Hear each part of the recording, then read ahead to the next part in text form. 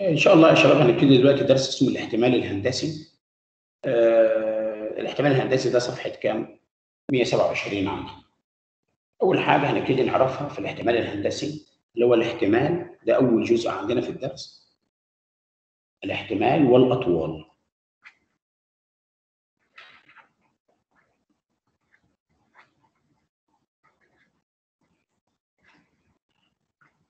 بالنسبة للجزء الأولاني اللي هو الاحتمال والأطوال بيدور حوالين إحنا عندنا قطعة مستقيمة مثلا كبيرة شوية. معايا؟ كده. أهو نفترض اسمها اي بي والقطعة المستقيمة الكبيرة دي بتحتوي على قطعة مستقيمة أصغر منها.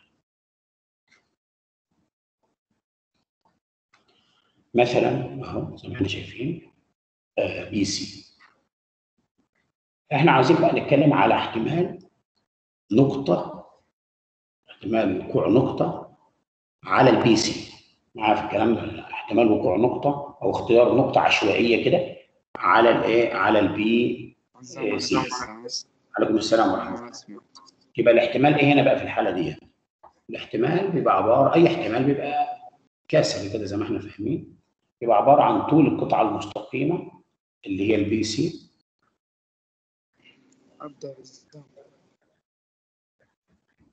يعدوا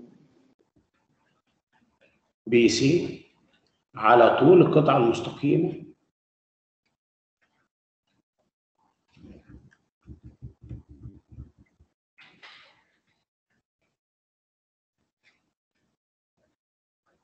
الكبيرة إيه بس. فكل اللي بنعمله عشان نطلع احتمال القطعة ديت أو احتمال وقوع النقطة. على القطعة الصغيرة B C بقسم طول ال B C على طول القطعة الكبيرة كلها A B. هنيجي نشوف عندنا. تحقق من فهمك على الموضوع ده.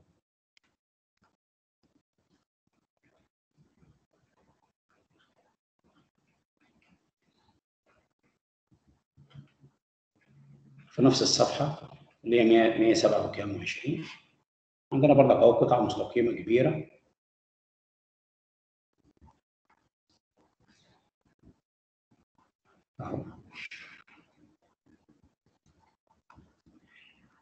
جي وام وموجود عليها النقاط هنا كي وهنا ال ومقسمة بقى طبعا زي ما إحنا شايفين لثلاث أطوال آه، ثلاث أطوال. القطعه ديت J K طولها ثلاثة ثلاث وحدات وحدات طول. والقطعه ال- الاطول ديت اللي هي K L عبارة عن سبع وحدات طول والقطعه L M عبارة عن أربع وحدات طول. طلب منك هنا في واحد إيه؟ طلب منك احتمال باختصار probability احتمال X بتنتمي للقطعة المستقيمة L M. خلاص حسب الكلام اللي إحنا قلناه. هنروح نعمل شرط الكسر ونشوف طول L M ونقسمه على الطول الكلي للقطعه المستقيمة اللي بتحتويه. طيب الطول L M طول L M طول L M هو عندنا أربعة أربع وحدات. على الطول الكلي هنجمع ده كله طبعا. أربعة ثلاثة زائد سبعة زائد أربعة. 14 وابتدي أعمل عملية تبسيط. على الاثنين طبعا في الاثنين على الاثنين فيها السبعة. يبقى 2 على 7 يبقى احتمال القطعة إن ال X بتنتمي ل L M خدنا طول L M على الطول الكلي كله اللي هو 14 نيجي نشوف بعد كده كام واحد B احتمال إن X بتنتمي للقطعة المستقيمة K M برضك هنعمل شرطة كسر عندنا أهو. وهنشوف ال K M طول ال K M بيشمل قطعتين بيشمل القطعة دي 7 زائد 4 يبقى K M K M ده كله K M ده كله بيشمل قطعتين 7 زائد 4 7 زائد 4 طبعا كام 11 يبقى البسط 11 يبقى طول الكي ام كام عندنا يا شباب 11 على الطول الكلي طبعا كله هنقسم عليه اللي هو كام؟ 14 هنا ما فيش إيه؟ تبسيط ما بينهم ما فيش قاسم ما بينهم. طيب ده بالنسبة للنقطة دي. ده بالنسبة للتمرين الأولاني.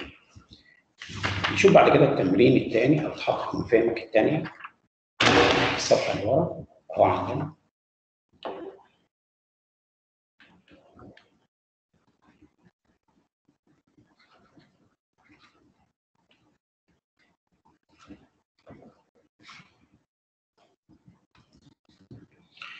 ده في صفحة 128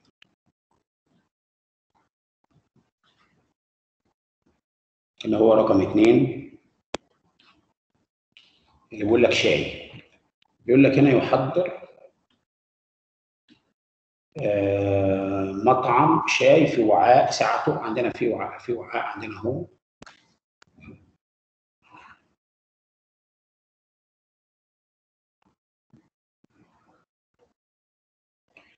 زي ما إحنا شايفين.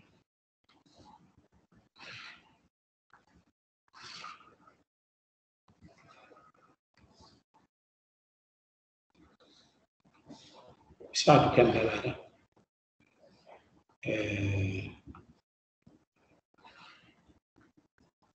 زي ما هو كاتب 8 لتر ومقسم بقى مقسم بقى عندنا هنا حسب التقسيم اللي هو كاتبها هنا كام؟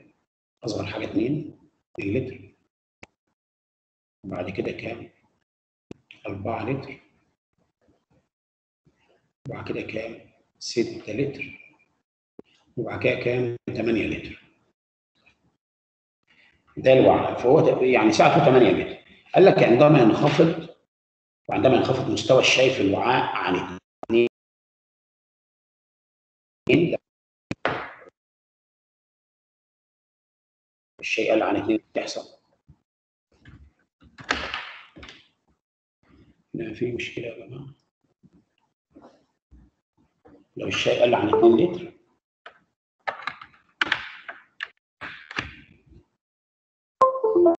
لو الشاي قل عن 2 لتر هنا بيصبح التركيز كبير ويختلف الطعم. لو الشاي قل عن 2 لتر بيصبح التركيز كبير ويختلف الايه؟ الطعم حسب الكلام بتاعه. طيب ماشي. طلب منك في أول حاجة أو في إيه؟ آه إذا حاول شخص ملء كأس من الشاي فما احتمال أن يكون مستوى الشاي في الوعاء تحت مستوى ال 2 لتر. فأول حاجة عاوزين احتمال إن المستوى الشاي تحت 2 لتر. مستوى الشاي في المنطقة دي يعني الاكس في المنطقة دي. عارف الكلام ده لأ؟ خلاص. يبقى أجيب هنا 2 لتر. طول هنا 2 لتر على الطول الكلي 8 يبقى 2 على 8 يطلع كام؟ الربع ده المطلوب الثاني قال لك إيه في المطلوب الثاني؟ ما احتمال أن يكون مستوى الشاي ما بين 2 و3 الاثنين والثلاثه يعني الاكس واقع ما بين الاثنين والثلاثه نفترض هنا الثلاثه فهنا بقى أطرح. يبقى أنت عاوز اثنين ما بين اثنين وتطرح الكبير ناقص الصغير. ثلاثة ناقص اثنين على كل ثمانية ثلاثة ناقص اثنين طبعا واحد على ثمانية طب لو قال لك ما بين اثنين وأربعة أطرح أربعة ناقص اثنين يبقى ساعتها اثنين على ثمانية واختصر. ما بين آه، ستة واثنين يبقى أطرح ستة ناقص اثنين أربعة وعلى ثمانية مفهوم لما يقول لك ما بين كذا وكذا؟ أول ما يقول لك ما بين كذا وكذا تطرح الكبير ناقص الصغير. تسمع كل طبعا. مفهوم السؤال ده ماشي إزاي يا شباب ولا لا؟ تمام؟ نوقف التسجيل بس كده. لحظه